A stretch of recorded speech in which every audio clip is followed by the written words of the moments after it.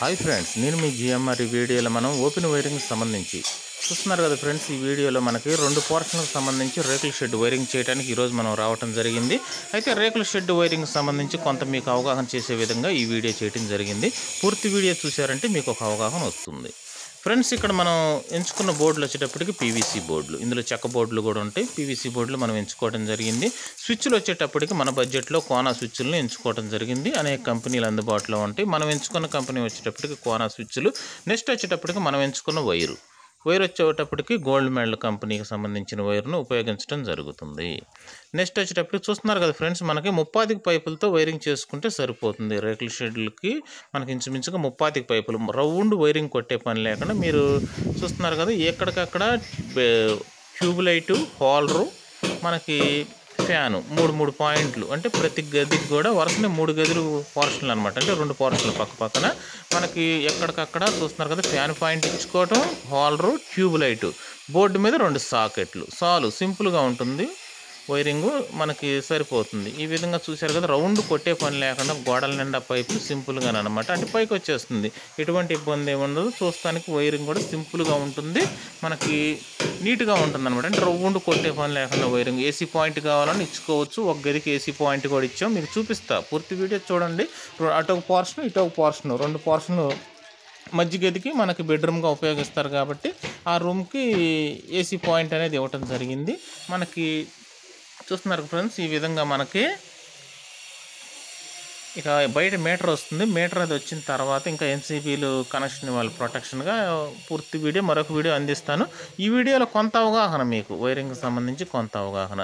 Holes వేసే పని లేకుండా ఉండాలంటే గోడ నుంచి గోడకు మెయిన్స్ వెళ్ళడానికి ముందుగా పైపులు కట్టుబడులు ప్లాన్ చేసుకోవచ్చు.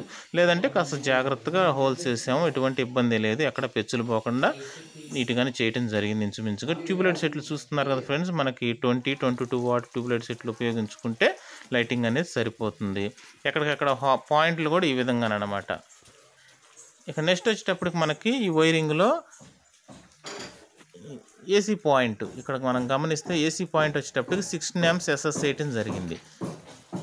చూపిస్తాను అక్కడ. మన నెక్స్ట్ వచ్చేటప్పుడు ఒకసారి వంటగదిలో చూద్దాం. వంటగదిలో వచ్చేటప్పటికి ఇక్కడ మనకి ఎస్ఎస్ అనమాట అంటే సిక్స్టీన్ ఎంస్ సాకెట్లు రెండు ఉంటాయి. చూస్తున్నారు కదా? మనకి ఇది కిచెన్కి సంబంధించి ఈ విధంగా వేయటం జరిగింది. ఒక హోల్డర్ పాయింట్ కూడా ఇచ్చాం నైన్ వాట్ ఎల్ఈడి వేసుకుంటే సరిపోతుంది.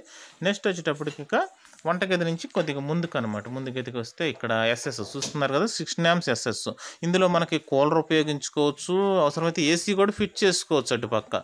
అంటే మనకి రెంట్కి ఇచ్చినప్పుడు కూలర్లు ఉండొచ్చు లేదంటే ఏసీ ఉన్నా కానీ అందులో ఉపయోగించుకునే విధంగా ఎస్ఎస్ అనేది ఇవ్వడం జరిగింది.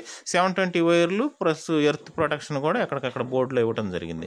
టీవీకి వచ్చేతలకి అక్కడ ప్లేసు పక్కన అడ్డు లేకుండా పక్కన ఇవ్వడం జరిగింది. అంటే ఇక్కడ రెండు స్విచ్లు రెండు సాకెట్లు పక్కన ప్లగ్లో ఇందులో గుచ్చుకుంటే సరిపోతుంది. సెటప్ బాక్స్కి టీవీకి సంబంధించి. ఇక బాత్రూమ్కి సంబంధించి ఒక హాలరు నెక్స్ట్ వచ్చేటప్పటికి ఇక్కడ హాలర్ పాయింట్ పక్కన వాష్ ఏరియా. బాత్రూంలో ఒక ఫైవ్ వాట్ ఎల్ఈడి పెట్టుకుంటే సరిపోతుంది లైటింగ్. ఇక్కడ వాష్ ఏరియా. వాష్ ఏరియాలో చూస్తే ఇక్కడ మనకి బకెట్లో హీటర్ బకెట్లో హీటర్ వేసుకొని తీసుకెళ్ళే విధంగా ఒక పాయింట్ ఒకటి నైన్ వాట్ ఎల్ఈడి పెట్టుకునే విధంగా బల్బు అంటే లైటింగ్ ఎంత ఎక్కడ ఉపయోగిస్తారనే దాన్ని కూడా మీకు ఒక అవగాహన అనమాట ఇలా బార్కి మూడు గదులు ఉన్నాయి. అంటే ఇక్కడ వాష్ ఏరియా. అవసరమైతే ఇక్కడ బాత్రూమ్కి సంబంధించి బకెట్లో హీటర్ వేసుకొని బాత్రూంలోకి తీసుకెళ్ళచ్చు. ఆ విధంగా. అంటే మన బడ్జెట్కి తగ్గట్టుగా మన సింపుల్గా ప్లాన్ చేసుకోవాలంటే ఓపెన్ వైరింగ్.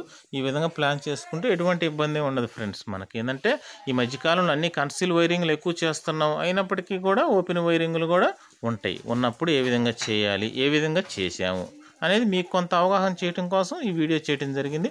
ఈ వీడియోలో ఇంకా మన మీకు పూర్తి వీడియో రిలీజ్ చేస్తాను. అంటే ఒక పోర్షన్కి మెయిన్ మీటర్ ఇంకో ఈ పోర్షన్కి వచ్చేసరికి సబ్ మీటర్ బిగించాలి అంటే ఇక్కడ వైరింగ్ ఈ విధంగా కంప్లీట్ అయింది. రేపు పూర్తి వీడియో మరొక వీడియో మీకు తప్పకుండా అందిస్తాను. సబ్ మీటర్ బిగించిన తర్వాత మీకు రెండు పోర్షన్లో ఒక పోర్షన్ మెయిన్ మీటర్ ఇంకా ఎంసీబీలు బిగించాలి. అంటే మెయిన్ బోర్డుకి సంబంధించి మనకి ఇంకా ప్రొటెక్షన్ రావాలి కదా మరి. రెండు పోర్షన్కి సంబంధించి ఏదైనా కంప్లైంట్ వచ్చినప్పుడు ట్రిప్ అవ్వడానికి ఎంసీబీలు రావాలి. ఎంసీబీలు ఫిట్ చేసిన తర్వాత మరొక వీడియో అందిస్తాను. అయితే సింపుల్గా ఈ విధంగా ప్లాన్ చేసుకుంటే ఓపెన్ వైరింగ్ అన్న అయినా కానీ నీట్గానే ఉంటుంది. అయితే ఈ మధ్య కాలంలో మనం ఎక్కువగా కన్సీల్ వైరింగ్లు చేస్తున్నాం. కన్సీల్ వైరింగ్ నీట్గా ఉంటుంది కాదంటలేదు. అయినప్పటికీ కూడా ఏదో సందర్భాల్లో ఎక్కువ అనేక సందర్భాలు ఓపెన్ వైరింగ్ కూడా చేయాల్సి వస్తుంది. అప్పుడు మీకు కాస్త అవగాహన అనమాట కాస్త ఉపయోగపడిద్దని ఈ వీడియో చేయడం జరిగింది. మనకి ఇక్కడ గమనిస్తే రెండు పోర్షన్లు కూడా ఒకేలాగా ఉంటాయి. అందుకే మీకు ఎంతసేపు వీడియో చూసినా ఆ రెండు పోర్షన్లు చూస్తున్నట్టే ఉంటుంది. ఒకేలాగా రెండు పోర్షన్లు సేమ్ ఒకే విధంగా వైరింగ్ చేయడం జరిగింది.